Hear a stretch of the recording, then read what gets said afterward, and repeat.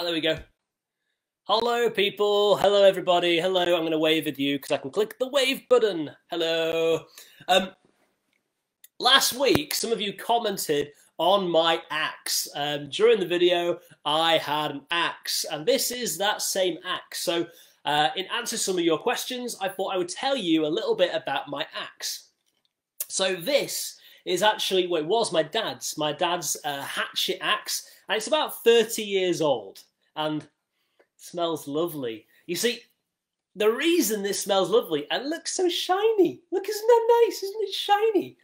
The reason the reason I love this axe is because I've just spent the last few days restoring this. Sorry, if you've just tuned on and you're wondering what Tim's doing with this axe, I'm explaining the axe, don't worry. And I really want to make sure I don't drop this because my laptop is right here and that will be bad for everybody.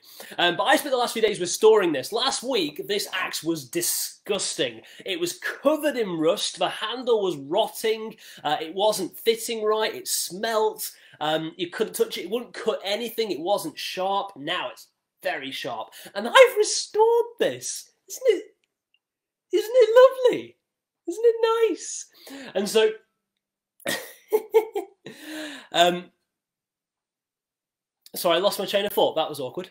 Um, what I've done is I've sanded off all the rust. I filed it, and I used wire wool, and I used sandpaper. I use a uh, ceramic sharpening block, a DC4. Um, I use only hand tools, and then I've given it three different coats of linseed oil, boiled linseed oil, which has just come up lovely. Look, isn't it nice?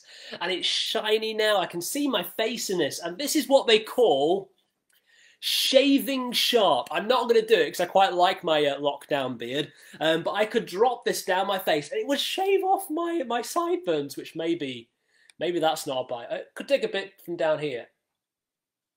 Oh, ow. I'm not sure if you can see that on the camera, but that is Tim Chinhair.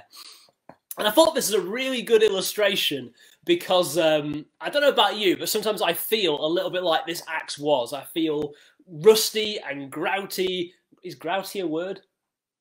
I don't know. But I feel mucky. I feel dirty. I don't feel strong. I don't feel like I work very well. I don't feel like I function very well. And I feel a little bit like this axe was. And I thought, what a great illustration for the Christian story. Because what God does is God looks at us a little bit like I looked at this dirty old axe and said, it doesn't matter how grub, how, how grimy you are, how grubby you get, doesn't matter how little you think you work, I can I can work with that.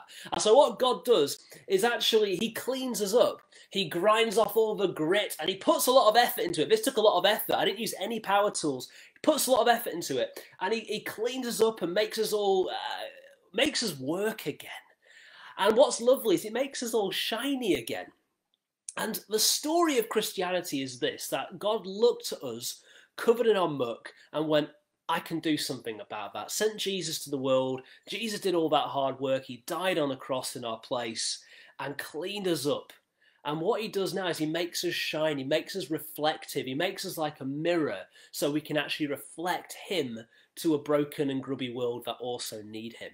So my question is, have you had that restoration on your own life? Have you actually said to God, do you know what? I feel a little bit like Tim's dad's old axe. I feel like I don't really work very well. I feel like I, am a bit grubby, a bit dirty. I've done some things in my life that I'm not proud of, and I, I feel like God, you don't, you couldn't like me. But but you know, Tim says that maybe you'd be up for cleaning me up too. So have you asked God that? Have you asked God to come into your life, life and clean you up a little bit?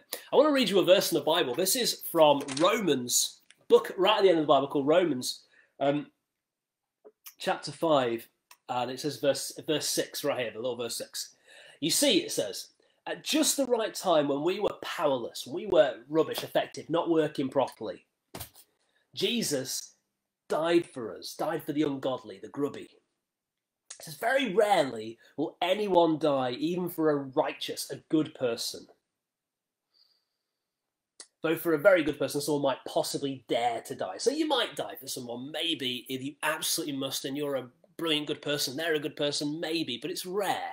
Then it says this God demonstrates his own love for us, God's love in this. when we were still sinners, when we were still covered in rust and muck, when we were rotting, when we were sinners, Jesus died for us.